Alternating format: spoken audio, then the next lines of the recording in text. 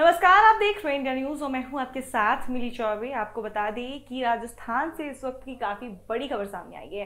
राजस्थान में आज टोंक विधानसभा क्षेत्र में सचिन पायलट अपना नामांकन दाखिल करने गए थे, जिसके बाद जब उन्होंने अपना हल्फनामा दिया तो उसमें उन्होंने अपनी पत्नी सारा के आगे तलाकशुदा लगाया है। जी हाँ सचिन पायलट ने इसको साफ़ कर दिया कि अब वो और सारा एक साथ नहीं है। हालाँकि इन दोनों की प्रेम विवाह हुआ था। दोनों ने घर से बाहर भाग करके शादी की थी। सारा के घर वाले घर वालों ने इसकी मंजूरी नहीं थी इसके बावजूद भी सचिन और सारा ने शादी की थी और इनकी शादी को लेकर के काफ़ी ज़्यादा उस वक्त हंगामा भी हुआ था। इनकी शादी 2004 में हुई थी और इनके दो बच्चे भी हैं, दो बेटे हैं इनको, और अब जाकर के अभी एक तरफ़ जहाँ विधानसभा चुनाव को लेकर तैयारियाँ चल रही है राजस्थान में, उन्हीं तैयारियों के बीच में आज सचिन पायलट टोंक पहुँचे थे, अपने विधानसभा क्षेत्र में पहुँचे थे, नामांकन दाखिल करने के लिए चारों ओर उनके लिए रैलियाँ हो रही थी कांग्रेस पार्टी के उम्मीदवार उनके साथ थे, और जब उन्होंने नामांकन दाखिल किया तो उन्होंने जब तो उसके बाद हल्फनामे में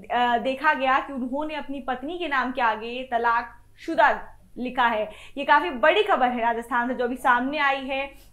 इस खबर से जुड़ी तमाम विजुअल्स हम आपको अपने वीडियो में दिखा रहे हैं और किस तरीके से उन्होंने हल्फनामा दाखिल किया है, उसके बाद क्या कुछ हो रहा है, आप देख सकते हैं हमारा वीडियो में।